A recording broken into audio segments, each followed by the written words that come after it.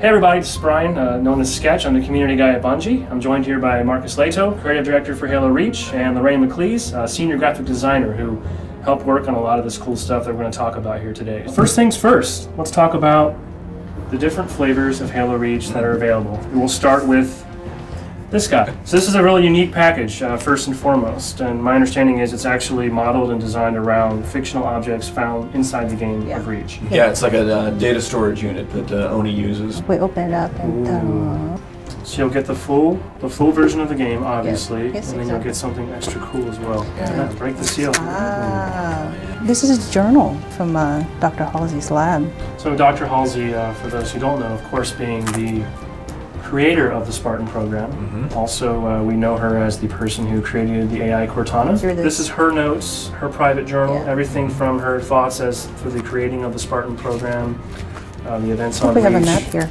Yeah, so this letter says that we're in possession of the most complete and accurate account that anyone has been able to assemble of the Spec War Group 3 noble actions during the final weeks before the Covenant class reach. That would be this.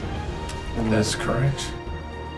All right, so that was the limited edition, but now I think what everybody's really dying to see is, of course, the granddaddy of them all, the Reach Legendary Edition. The beloved space crate. Let's take a peek and see what we got in here.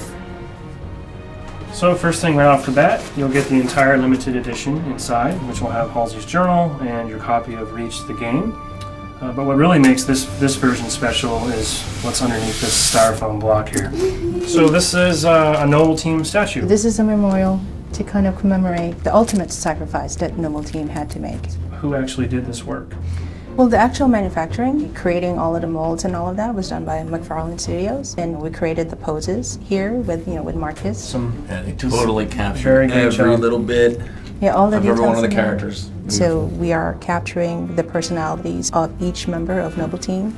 I've also heard that these are actually quite limited this time. So Yes. um, if you don't get your hands on one soon, there's a good chance they are going to be gone. These will actually be a lot more sparse in, in the market than the Halo 3 Legendary Edition was. So Microsoft recently revealed a brand new uh, console for the Xbox 360. But what we've been working on in secret behind the scenes is taking that new console but making it unique for Halo fans. Yeah. This is the limited edition Xbox 360 Halo Reach console. It does include a copy of the game as well. Oh, Wow. Look at that. Oh. And just like the, the packaging that we just looked at for the game, it looks like even the console has also been sort of given the same fictional treatment and been meant to feel like a real piece of hardware that you would find inside the game. So you'll get the game with it, and then it also comes with two matching controllers.